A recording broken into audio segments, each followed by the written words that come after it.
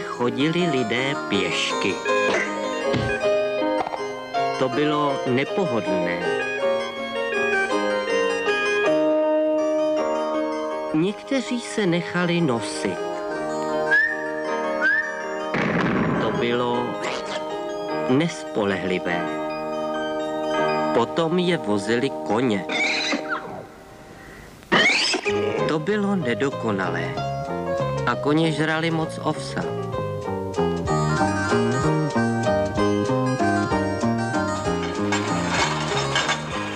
Potom pan Daimler vynalezl automobil. Konečně jsme mohli sníst své koně. Automobil je prostředek pro rychlou přepravu z jednoho místa na druhé.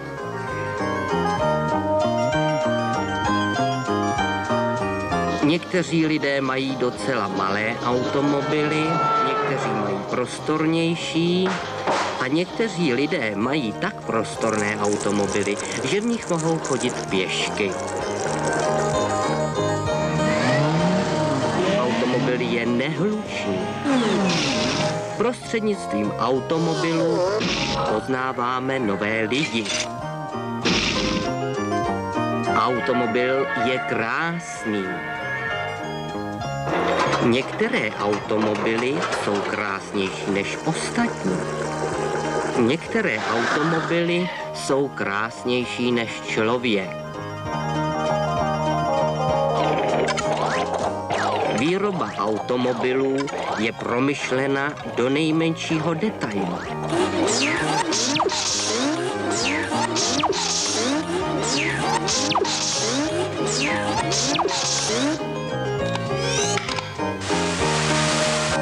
Spray chrání automobil proti korozi.